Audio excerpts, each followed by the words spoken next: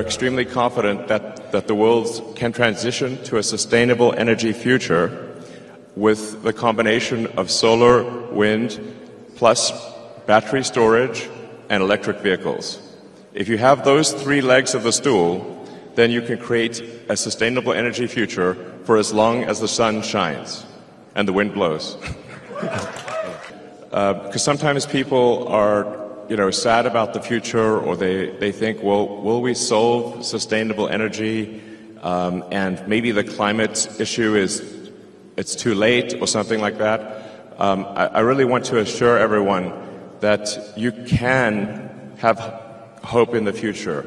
You should have hope in the future. This problem will be solved, uh, and uh, this factory is a, a, major step in that direction. Uh, so believe in the future.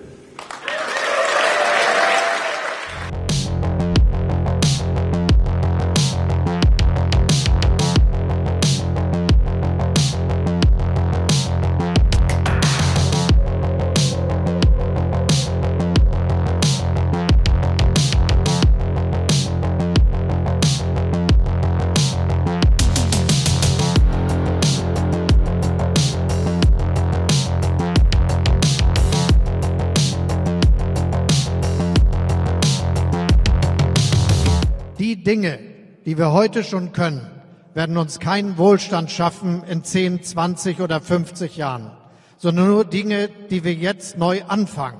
Und genau das ist das, was hier geschieht.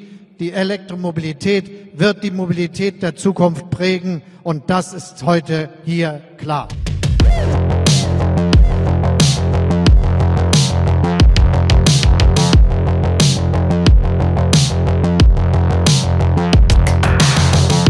Insofern freue ich mich sehr, dass es gelungen ist, in dieser Region so einen großen Arbeitgeber ähm, ansiedeln sich zu lassen. Und gleichzeitig freue ich mich, dass mit dem Bekenntnis zu dieser Region auch das Projekt Weg von Öl und Weg von Benzin im Automobilverkehr nochmal einen neuen Push, einen neuen Schub bekommt.